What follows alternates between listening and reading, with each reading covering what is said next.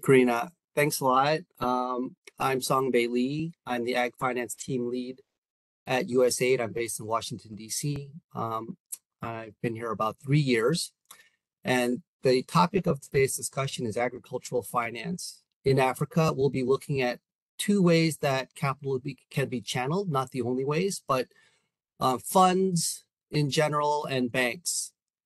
And we'll be focusing on what we can learn by looking at transaction sizes.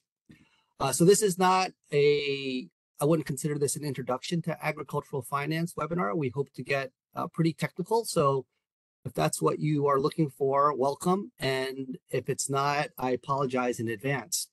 So we're going to start with introductions um, and then with our two panelists and then get into the discussion. And I'll also be answering, asking some of the questions that were asked on LinkedIn when we publicized this event, but we also hope to get some uh, to some of your questions that you put in the chat. And so I don't know if folks can see, but it looks like folks are still trickling in, but just to let you know, we're about, we're at about 80, 80 people um, in the webinar. So with that, um, start out with introduction. So Chris, so originally I wanted to ask you what AgDevCo does, but instead I want to read a LinkedIn post uh, that you wrote about a year ago that I really loved because it really was one of the most transparent, direct, and succinct descriptions of an investment fund out there. And, and I say that uh, not only because it stands out, but because of usually, um, for whatever reason, uh, it's very hard to tell exactly what an investment fund does. So what, what, it, what it said, AgDevCo offers patient finance for growing African agribusinesses. Terms for mezzanine debt are 6 to 8% debt plus an equity kicker, which, if we are successful in helping you deliver long-term profitability and social impact, should give us a 12% plus return. Ticket sizes are typically 3 million to 10 million with the ability to invest through multiple rounds. We look for impactful companies with excellent management and a track record of growth with positive cash flows and existing revenues over 5 million. Now you see some of this on websites for other agricultural funds, but never in the detail, the cost, their returns. So just uh, saying, I think that's great. Uh, maybe there's a couple terms in there that already are getting a little bit more technical beyond just equity and debt. You talk about mezzanine. You're talking about multiple rounds. I'm confused. Are we talking about debt or equity? Um, I don't know if you could at least uh, expand a little bit on that. Sure, and good afternoon, everyone, from a, a very wet and windy London. Um, so I'm Chris Isaac, I'm the Chief Investment Officer at AgDevCo. Happy to answer your technical questions, Songbae, but first I'd just like to say a couple of things about why AgDevCo is here, and I imagine why many of you are dialed into the call today, and that's the importance of more investment into African agriculture. And just a few headline facts that are familiar to, to many of you. The World Bank says that by 2030, 90% of extreme poverty will be in Africa. So this poverty is increasingly an, an Africa issue. Um, we also know that 80% of the poor in Africa live in rural areas. And thirdly, we know from research by the World Bank, but also IFAD and others, that investing in agriculture is at least two to three times more effective at reducing poverty than investment in any other sector. So the more we can do in agriculture, the better chance we have of tackling poverty in, in rural Africa. And there's a need for investment across the board, for at all sizes and at all levels. And AgDevCo is a small player and we can do our part, but we're by no means a silver bullet. Um, but to your questions, uh, Songbae, mezzanine. Well, we found that this is a product that works well um, for uh, medium-sized African agriculture businesses. Um, mezzanine is a hybrid between debt and equity. It's a long-term instrument, so typically with a tenor of, of at least 10 years. Uh, it's flexible because it doesn't require significant repayments in the early years, so it gives time for a company to get established. If you're growing a tree crop for those trees to come to maturity, or if you're building a factory for you to get up to a certain um, level of efficiency. Uh, and it's non-dilutive, which means that it's not diluting the owners of the business significantly. But it also shares risk with the shareholders, um, typically through a warrant, which means that if the company does well, then we as the mezzanine provider would share in the long-term profitability and get to that sort of 12 to 15% return that I referred to in the in the LinkedIn post. So it's long-term, it's flexible, Um, and it means that you don't have to have a long and difficult conversation about valuation, which is is uh, never easy for relatively early-stage agribusinesses. Thank you, um, Kirsten. Oh, go ahead. Well, you asked about multiple rounds as well. Um, so yes, these days we will typically be investing at a ticket size of three to five million, sometimes more than that.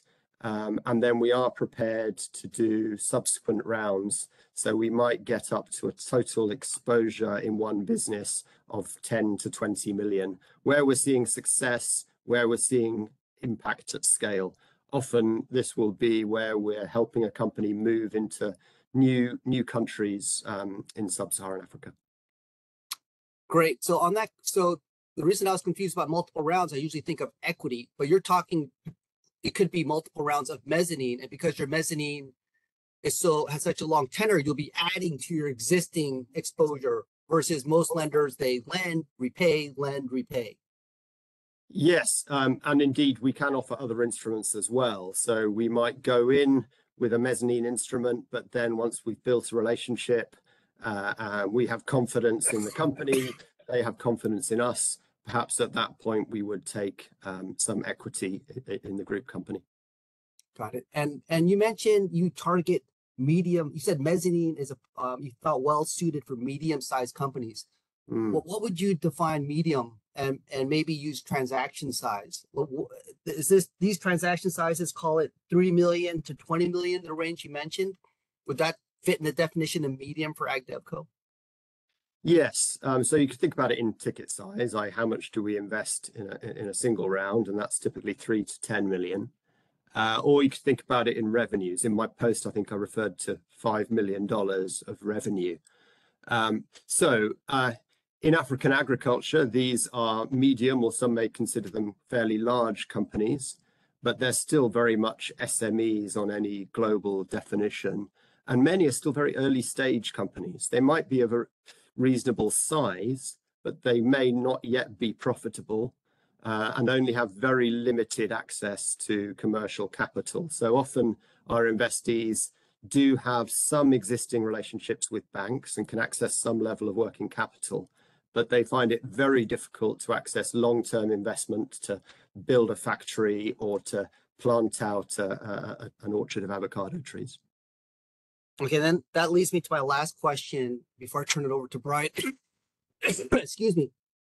What is the difference between AgDevCo and a bank? And and I think I incorrectly called you a fund.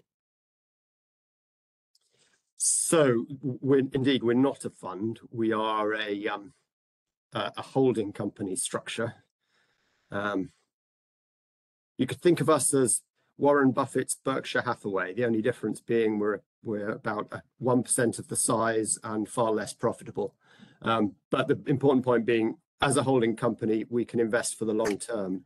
A fund has to be in and out within a certain period of time, often five or six years. And in our view, that doesn't really fit um, the need in in agriculture. Um, the key difference between us and a bank is that we provide longer-term, more equity-like capital.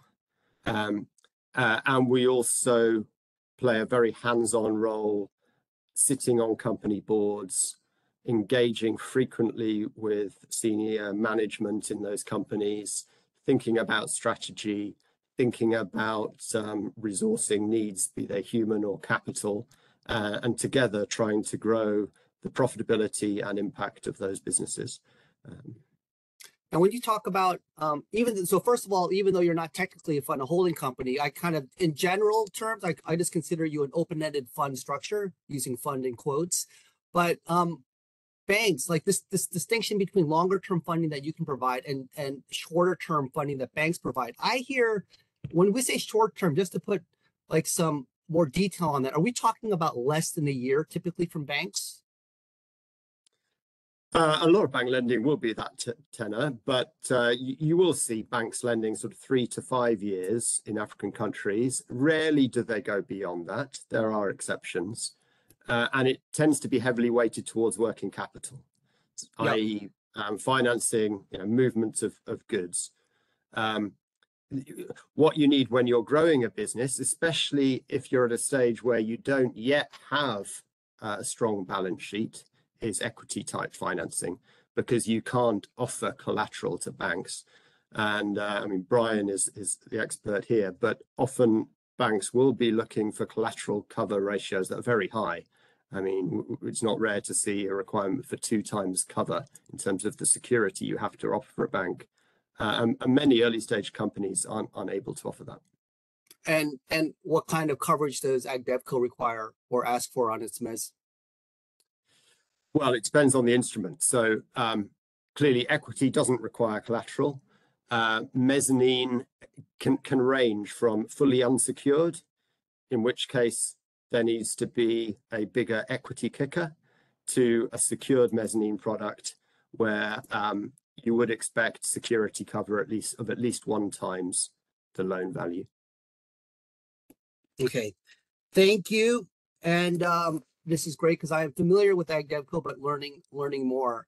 And Brian, I'm going to switch it over to you. Your Aceli is not a bank, is not a fund, is not a holding company, uh, but you work you work with different types of lenders in Africa. Can you I would say maybe you, you might disagree with that. You're a complicated activity to describe. Um, can you can you give us an introduction to oh sorry to yourself and and Aceli and Chris. Sorry for jumping right into it without asking you to introduce yourself. Thanks, Songbae. Um, Brian Milder, the founder and CEO of Aceli Africa. So Aceli, we consider ourselves an incentive facility. We don't lend directly. We don't provide capital to other lenders but we provide incentives to shift the risk return profile so that a marketplace of lenders can more profitably do agricultural SME lending. Uh, the loans that we support are at a smaller ticket size than where AgDevCo works. So we're focused on loans ranging from 15,000 US dollars up to 1.75 million. The average loan is about $100,000. I'll talk more about some of the different segments that that we support later. Um, the model stems from a recognition that in middle and higher income countries, the government typically provides risk sharing and other enabling policies to allow private capital to flow to agriculture and to other risky segments of the market that provide a development impact or otherwise are, are contributing to social good. And in the African context, those enabling pilot policies either are nascent or non-existent. And so using donor funds, we're trying to demonstrate an approach that could be over time integrated into the policy environment um, in various countries. And the way that we do that is we offer two different types of incentives. Um, one is a risk sharing approach, and it's uh, different than a typical guarantee structure. Most guarantees are 50% risk sharing on a loan by loan basis. Um, we feel that that approach can be valuable, but in and of itself is not sufficient in agri, um, where lenders are reluctant to eh, take a lot of exposure and to, to tell lenders, well, you should do more lending into a, a, a sector that's already riskier than other sectors that you might serve, and we'll cover half of your, your losses um, isn't adequate. And so our approach is a portfolio level first loss, where every loan that the lender makes, we deposit a percentage of the loan value into a reserve account. So a lender originates a loan, let's say it's $100,000, we would deposit 5% or $5,000 of, of funds from donors into a reserve account for that lender. Um, lender makes one loan, it takes 95% of the risk. Our first loss is not really doing all that much. But as the lender makes more and more loans, it builds up a larger reserve that becomes a buffer against any losses in its portfolio. Um, so that's that's one approach. The incentives themselves are tiered, so we offer a higher percentage for loans to first-time borrowers, and also we have different impact bonus areas related to gender and youth inclusion, food security, nutrition, and climate and environment. And so we want to motivate lenders to seek out and serve the highest impact borrowers.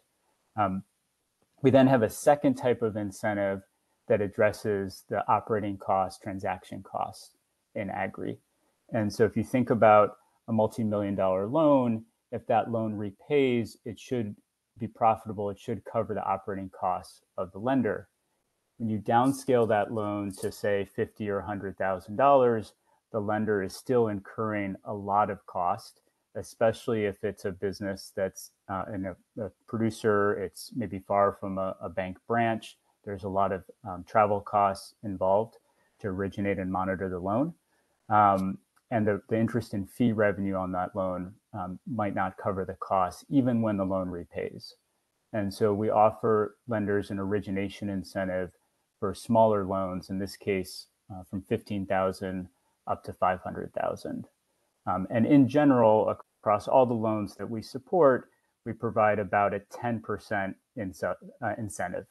So a $100,000 loan might qualify for $10,000 split between that first loss reserve at a portfolio level and then the transaction support.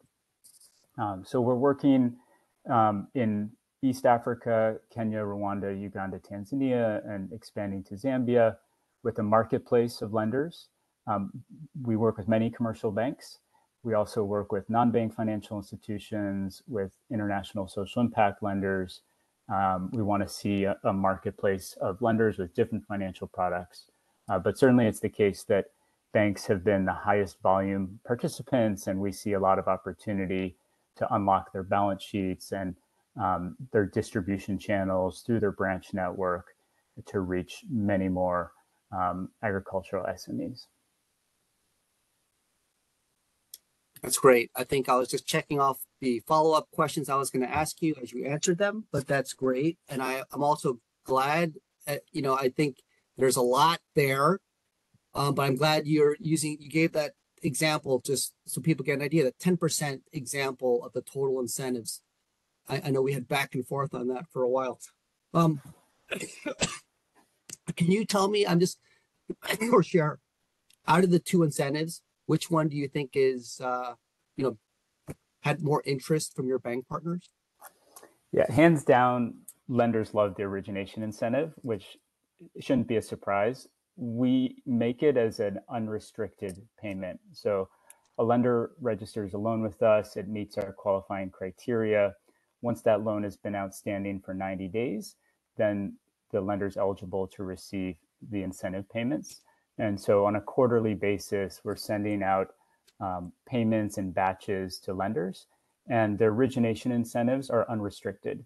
So lenders decide how they want to use the funds. Typically, they use them to cover travel costs, especially fuel, to, to do due diligence visits, to hire and train more specialists in agriculture, but also to do value chain analyses and adapt their product offering. And I saw a question in the chat, are lenders changing their financial products? And we've seen some really interesting examples of lenders going from a very standard um, asset-backed financial product, monthly amortizing schedule, um, appropriate maybe for an urban manufacturing business, not appropriate for an agricultural business with a cyclical cash flow, and now moving to warehouse inventory receipts product with different pricing, um, totally different collateral. Um, and so that's the direction that, that we see lenders moving and the incentives are an important nudge in that. Thanks, Brian. And on that point, I am not looking at the chat right now because I'm paying attention to your responses, but both of you uh, when the other is speaking, if you see, look at the chat and see there's questions that um, you could quickly address, feel free to jump in, jump in on those. I, I want to highlight the point you made though, Brian, about which incentive is more popular. One,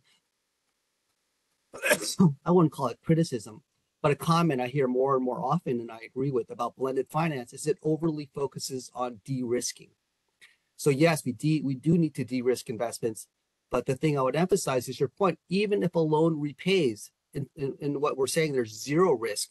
the loan, the bank might not make the loan because it's not profitable because the costs are too high most of the time when we're talking about small transaction sizes. So thanks. Uh, the last question, Brian, on the introduction, on this introduction um, part, how did you design your incentives?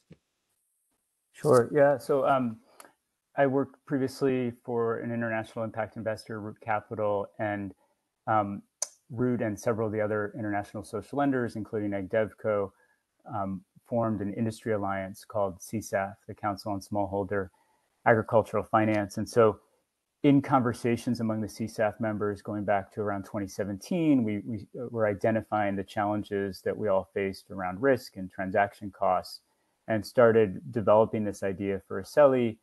And along the way, as we were pitching USAID and other funders, we, we kept hearing, well, you have a certain credibility as practitioners, but can you put data behind your assertions that agri-SME lending is riskier and and less profitable than other sectors. And so we spent a couple of years gathering that data um, and then going beyond the international social lenders, engaging local banks and non-banks in uh, in East Africa in particular.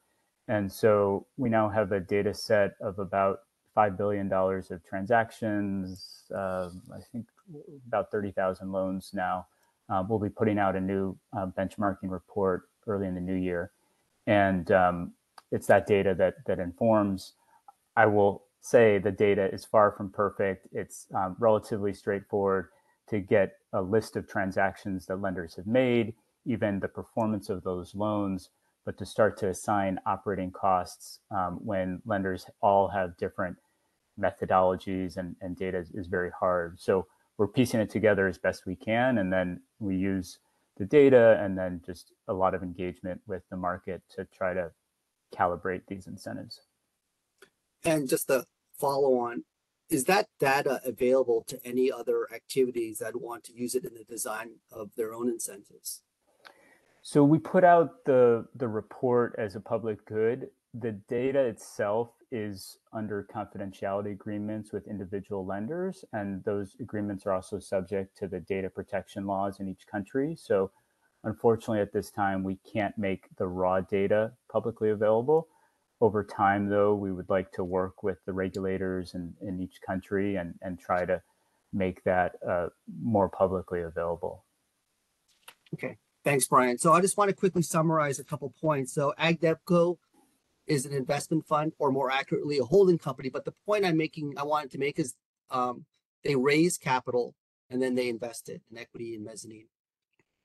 Um, and so they want they want to get their money back with the return. So they and they want a social and financial return. Aceli, Brian said it, but I just to make sure it comes through, does not lend or invest itself directly, and it only works with lenders so Aceli is 100% grant funded. And I don't know if you describe it this way, but I can't think of a better word, Brian. You're giving grants to banks to make, to lend, to um, make uh, specific types of loans that we think will have uh, enough impact to make those payments uh, valuable. So Aceli receives no financial return. All of its return it's getting is a social return. so what we heard uh, is that the work that AgDevCo does and Chris is talking about focuses on larger transaction sizes. Aceli, through the banks it works with, focuses on smaller transaction sizes. And we believe that both of these activities are having a lot of impact, but clearly a different type of impact because of these transaction sizes. And that's what we're going to um, dive into a little bit more next.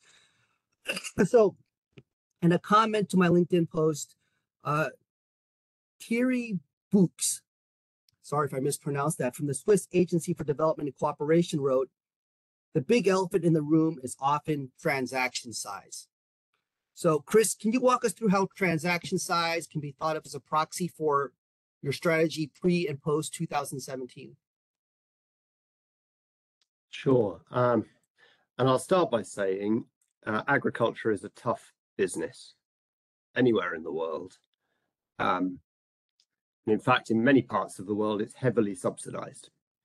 I grew up on a small farm in South Wales um, with sheep. and those hill farmers only survive because they receive subsidies every year. And uh, on your side of the Atlantic, Songbae, um, farmers can access crop insurance, which is heavily subsidised by the government. Um, in Africa, there's very little subsidy coming into agriculture, um, so it's a tough business. It's particularly tough um, when you're talking about small transaction sizes, small investments, and, and Brian's touched on this already. But there are high costs to, to, to making an investment in terms of doing the due diligence, in terms of documenting the transaction, in terms of managing that investment, sometimes over many years, and then and then finally exiting it. Um, so it's it's hard to get the returns in agriculture that are sufficient to cover those costs, which is why, at least in our experience, when in the first few years of AgDevCo, we made small investments, typically below half a million dollars in size, we lost money. Um, we that wasn't a surprise to us. We knew it was going to be difficult. Um, and if we look back at that portfolio, we expect to eventually recover around 70, 70 cents in each dollar invested. Um, so you can look at that from two angles. With an investor hat on, it's a disastrous performance. Um, if you come at it in terms of um, a use of aid funds or grant, arguably it's an efficient way of deploying grant because you get back 70 cents and you can recycle it. Uh, and, worth saying at this point that AgDevCo is a vehicle that is owned by a trust and is ultimately non-for-profit. So any returns we make, we will recycle into doing more of the same. Um, so why did we shift away from that strategy? Well, two, two reasons. Firstly, at that point, we were 100% funded by the UK government. And in, around 2017, aid budgets in many parts of the world came under pressure. And uh, the UK aid programme said, look, you can't rely on us continuing to provide grant every year to cover your operating costs.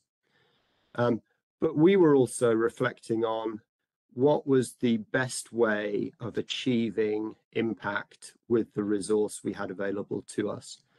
And what we'd found is that the the challenge of working with small companies is, that they often stay small um, and there's a relatively high failure rate. So I'd say our successes in terms of businesses that went on to become profitable and to grow, to scale up and achieve more impact was around three out of 10. Um, now, venture capital in, in in the developed parts of the world will have a similar sort of success rate. The difference is in venture capital, your successes often make a lot of money, and you don't see that in agriculture. Some of the reasons I was referring to earlier. So, pre 2017, we were doing very additional investing in very early stage, often startup companies, um, but we were losing money and we weren't seeing impact at scale. We then had to shift. We had to shift to try and ourselves get to the point where we could cover our operating costs and have the chance of making a return that we could reinvest. Um, uh, and we wanted to work with companies that were more able to operate at scale, to take a successful model for one country and to expand it to other countries. And that would reach not hundreds of farmers, but potentially tens or hundreds of thousands of smallholder farmers. Um, so from 2017, we started to rebalance the portfolio by targeting larger deals alongside our existing portfolio of small legacy deals. So we're not 100% invested in large companies today. Of our 38 investments, 10 are still legacy investments from pre-2017. But by rebalancing the portfolio with some larger partners, we've been able to move to profitability for the first time this year uh, and this is our 14th year. Um, we're not making large profits. We will make sufficient profit to cover our running costs and return capital, return, make a return for our investors. So these days we have raised capital from uh, DFC, the, the um, Development Finance Corporation in the US, who has provided us with debt. Uh, and we also have um, preference share capital from two DFIs Norfund, and British Investment International. We have to provide a return to those three investors at low, modest levels, uh, and then any surplus we make after that, we can reinvest.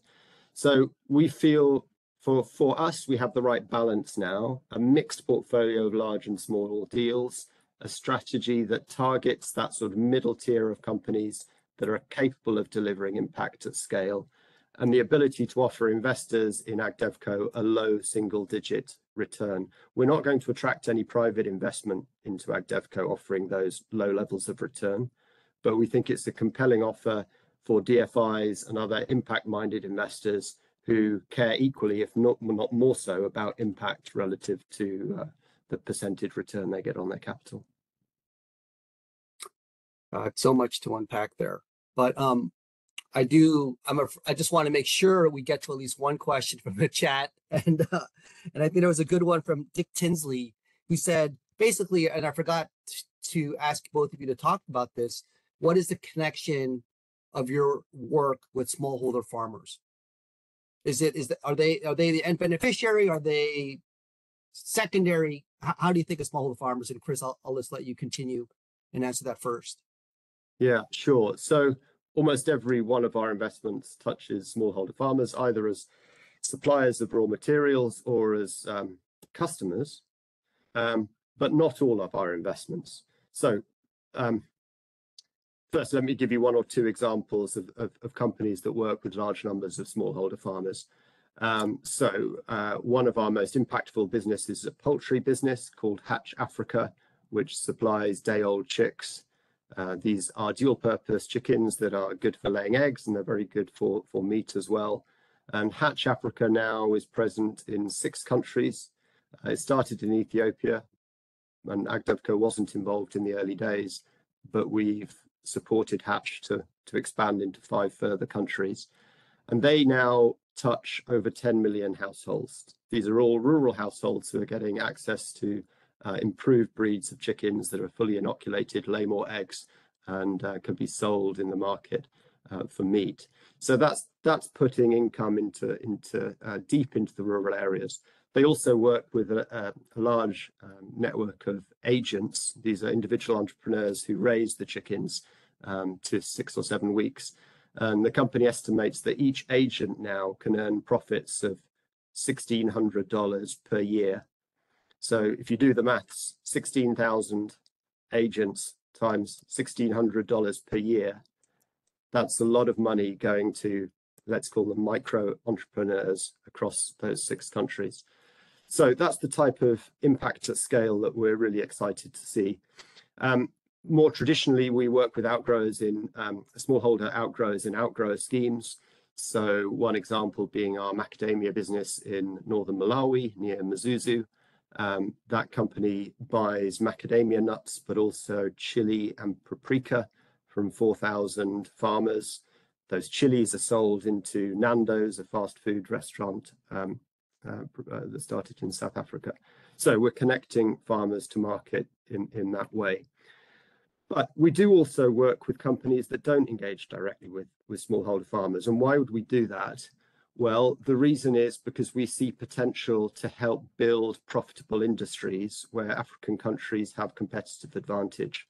Um, so one example being avocados. We have three or four investments in avocados, uh, and there is only limited purchasing from smallholder farmers in those cases. These are commercial farms that sell avocados into Europe and increasingly into China and India.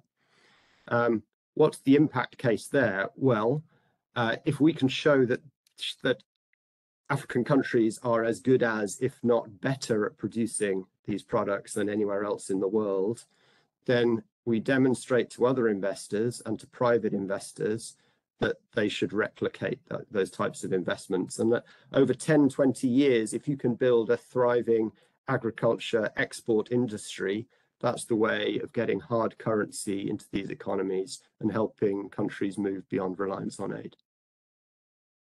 Thanks, Chris. Just to clarify, is Hatch a rebrand of Ethio Chicken, or is that a different company? It is the same company. So Ethio Chicken is the brand in Ethiopia. Oh, okay. The group is called Hatch Africa. Got it. Hatch Africa. Thank you. And and Brian, so same question? Yeah, thanks, Songbae. And Karina, maybe um, we could tee up the slides now. So on average, um, I mentioned the $100,000 loan uh, that I'm that- sorry about the, I wanted to ask you about the connection that's selling to smallholder farmers. Are you gonna use the slides to answer that question too? Okay, great. Yeah. So the, the average SME is receiving a loan of $100,000. Um, the business has revenues of $700,000. It employs 16 workers and purchases from about 600 smallholder farmers. So there's a wide range across the, the businesses that we support from um, agro dealers, input suppliers, to cooperatives of smallholder farmers involved in primary production, to businesses at a post-harvest handling or processing stage of the value chain. And here we've we've broken down the loans by size segment, um, and specifically the percentage of loans that are going to first-time borrowers. Before we launched, we thought maybe about 30 to 35 percent of the loans would go to first-time borrowers. It's been over 60%, uh, um, and we see it really weighted to the smaller loans.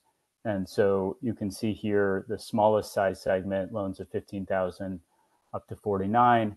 Um, about 90% of those loans are going to first time borrowers. Um, and then with the larger ticket sizes, and we go up to 1.75 million, um, businesses, not surprisingly, have better access to finance. Um, so on the next click, um, you'll be able to see the leverage ratio. And here, the leverage ratio is uh, the relationship between capital mobilized in the numerator and the cost of the incentives that Aceli is providing. Overall, our leverage ratio is about 10x.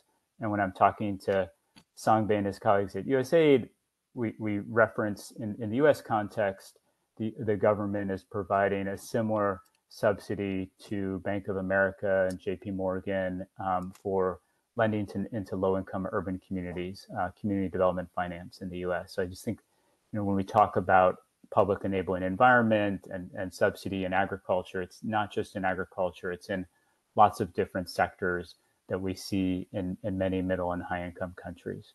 Um, the leverage ratio is inversely related to the capital additionality. So we have to spend relatively more um, in terms of our incentives for these smaller ticket sizes that are more likely to go to businesses that ha- don't have access to finance. And then for the larger ticket sizes, you know, the, it's it's much more commercial.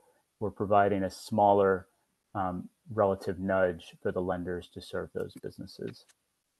Um, so the next click, um, you can see kind of the distribution of loans. Um, we're at about 1,500 loans, and they're really concentrated on the left side in these smaller ticket sizes. Um, loans under 250,000 comprise um, upwards of 85% of the total loans. And I think, you know, to the, the businesses that that AgDevCo are serving um, that that have a lot of scale that really can can reach um, you know Chris talked about some of the numbers with Hatch Africa it's it's critical to be supporting those businesses um, there just aren't very many of them uh, we need to create a pipeline for more businesses that, that could grow in that direction and there's also a large part of the uh, economy that's concentrated in these these smaller businesses. So in the next click, you can see kind of what this looks like in terms of, of numbers. On average, these smaller businesses are serving far fewer farmers and workers. Um, there's about a, a 30 fold difference um, in the reach of the small businesses um, to the large ones. And, and here, this is mostly farmers that are supplying the SME. Um, and then on the next build, you can see though that when you consider the number of, of loans, um, Karina, can you just go to the, the next slide? Thanks. Um, when you see, when you add up though, the number of smaller businesses, um, the collective number of farmers and workers for these smaller businesses is far greater than the large businesses alone.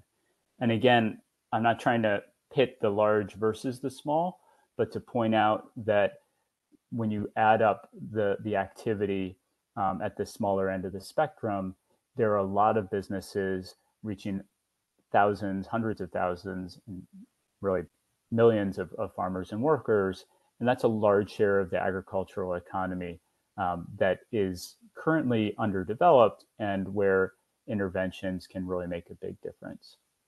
Um, so if you click further, Rena, you can see um, the average revenue is um, there. There are differences between these smaller um, loan size segments and the larger loan size segment, but the variance in revenue is not nearly as large as the variance in loan size. And my interpretation of that is that the smaller businesses are particularly underserved and in some ways underperforming their potential. Um, they're getting loan amounts that are not adequate to their needs. Um, but as they start to get working capital in particular, they will be able to, to grow quickly and move up the curve. And that's what we've been seeing. About 10% of the businesses that uh, we've supported with our incentives are coming back for a second loan. And we see that their average revenue growth from year one to year two is about 27%. Um, so very healthy growth in terms of their top line revenues. And about 60% of their revenues flow through to farmers um, in the form of purchases of, of crops, of raw materials um, in, in that supply chain.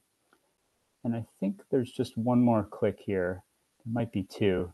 Um, so when you add up the cumulative revenue of these smaller businesses, it becomes quite substantial, 700 million plus for businesses that are you know, all receiving loans under 250,000 um, relative to the smaller number of larger businesses. Um, so um, I think that might be it. Maybe there's one more click. Oh yeah, this is the last one. So I, th I think this is an interesting one to end on.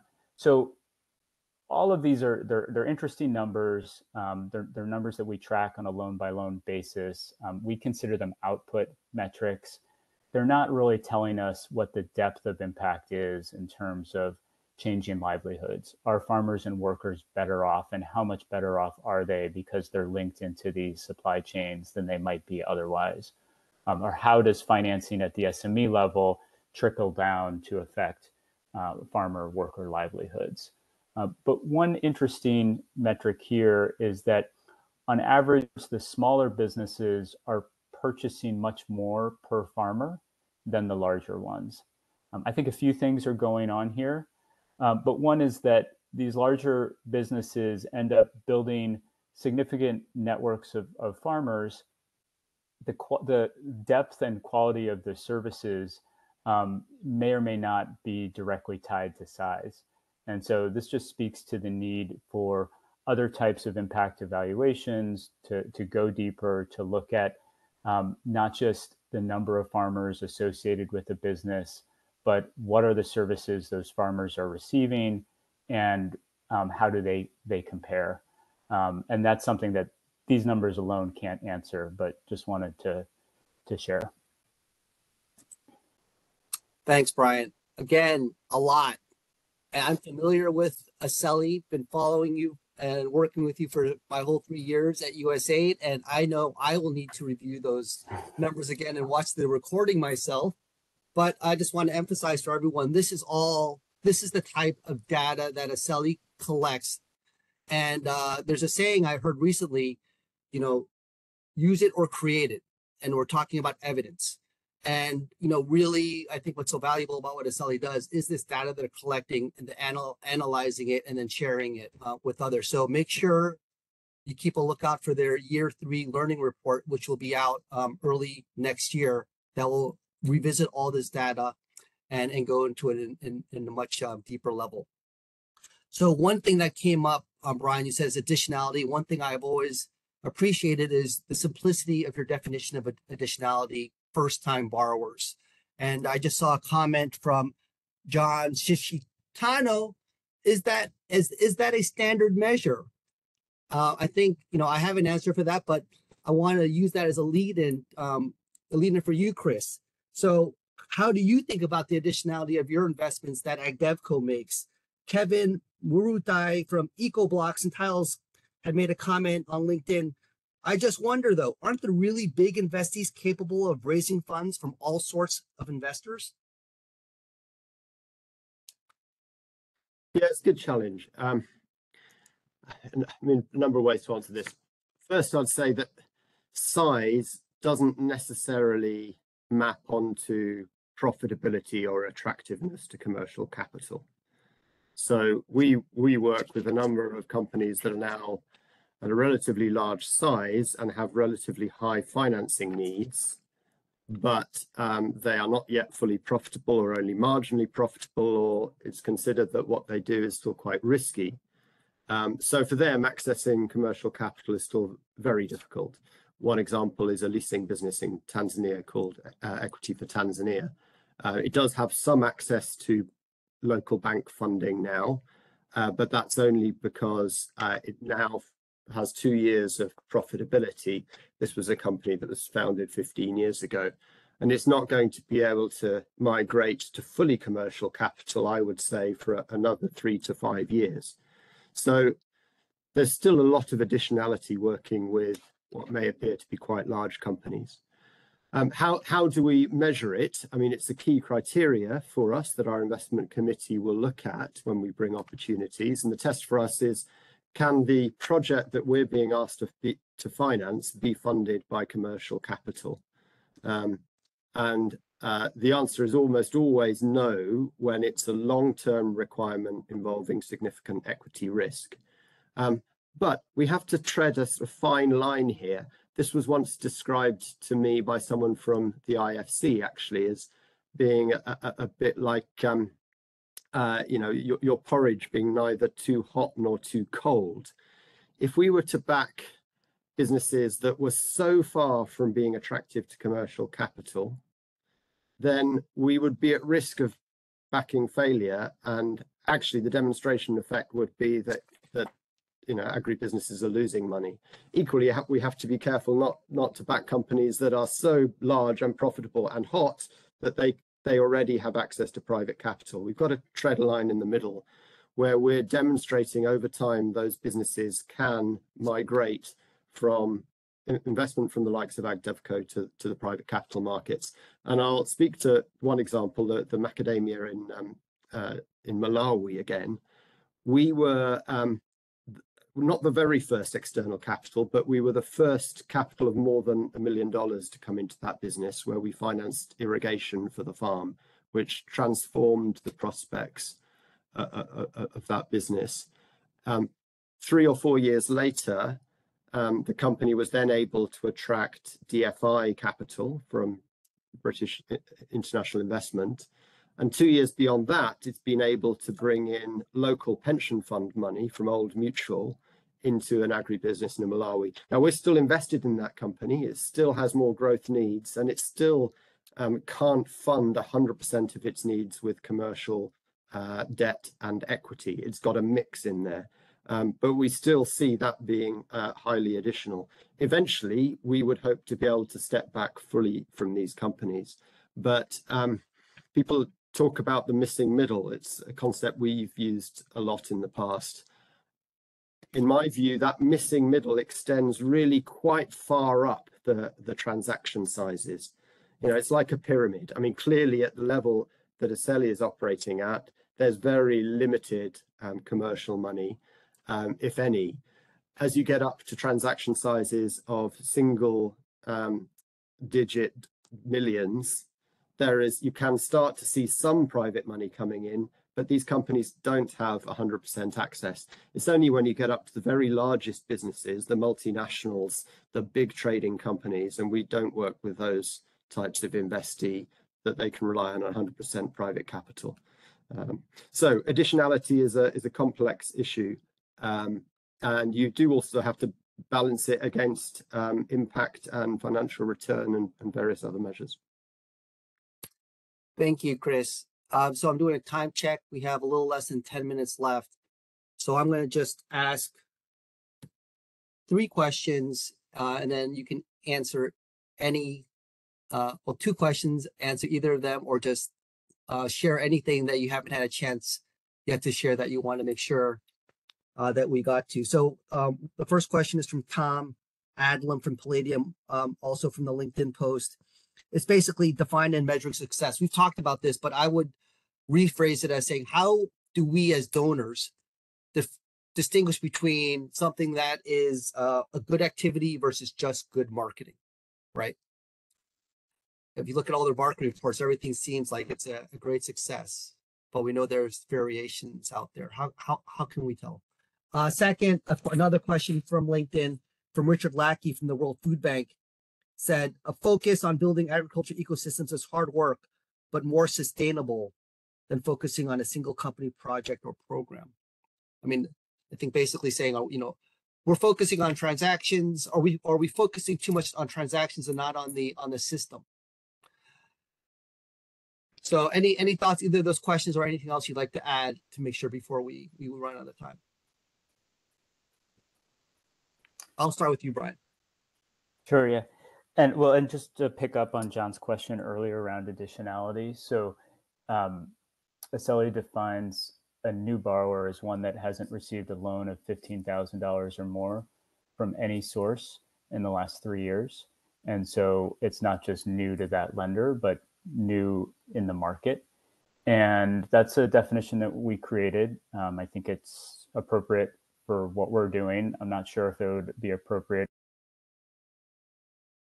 Oops, sorry, hit mute. I'm not sure it would be that should be the the market wide definition um, for new borrower. But I'd also want to point out that it's not that we think about additionality as binary. Uh, there's a lot of businesses that have had previous access to finance, and Chris alluded to this, that are maybe getting, you know, they've had working capital finance, now they're getting long-term finance, or they're getting it on different terms. Um, one of our lending partners in Uganda has significantly lowered their collateral requirements in response to the risk sharing that, that we offer. And that's going to allow many more businesses to qualify for finance in the first place or to get more finance for the collateral that they have available. So new borrowers is just one indicator, a proxy for additionality. Don't at all want to suggest that it's on its own enough of a, a definition of additionality. Songbae, to your question around what donors should be looking for, I think that um, there's been too much attention paid to the headlines of capital mobilized. Um, capital mobilized, I think, should be relegated to a fourth priority. Um, and I would say the top three priorities are the additionality of capital that is being mobilized, the impact of that additional capital, um, and you can look at that on the livelihoods of farmers and workers. You can look at it on um, food that's being more traditional, um, efficiently produced and supplied into the local market in lieu of expensive imports. You can look at any number of, of metrics. I think what becomes challenging is that you can't necessarily use output metrics to assess that impact. You're going to need to have some type of evaluation and finding right sized ways of, of evaluating is really challenging. Uh, but I think it's the combination of that capital additionality and the impact in the numerator relative to the, the cost. And that's that's your value for money equation. And um, there aren't necessarily going to be standardized ways to do it everywhere. But if I were a donor, I would kind of look at everything through that lens. So just to clarify, the cost is the third. The third, capital mobilized is a after. I mean, it's it's relevant, but it's it's, it's specifically the additionality of capital mobilized, not capital mobilized in and of itself. And so, as Peter Beez from SDC said on another webinar, it's an interesting number just for politicians. Um, Chris, your last word. Yeah, um, well, on the impact question, so um, what what does success look like? Um, so I'd say there are two parts to this. Firstly, there's the direct impact that, that um, our investees create, uh, and that is relatively straightforward to measure. I mean, we insist that our investees provide us with the data on how many jobs they uh, create and sustain, on how many farmers they buy product from, on how many livelihoods they they um, they bring about. And so we can translate all of that into um, additional income that goes into rural households. Uh, and we will report that to our funders and we were, were held accountable um, for, for that reporting. Um, so we estimate today that our portfolio generates about $100 million of such income into to rural areas each year. Um, the, the second part is the transformational change I touched on earlier.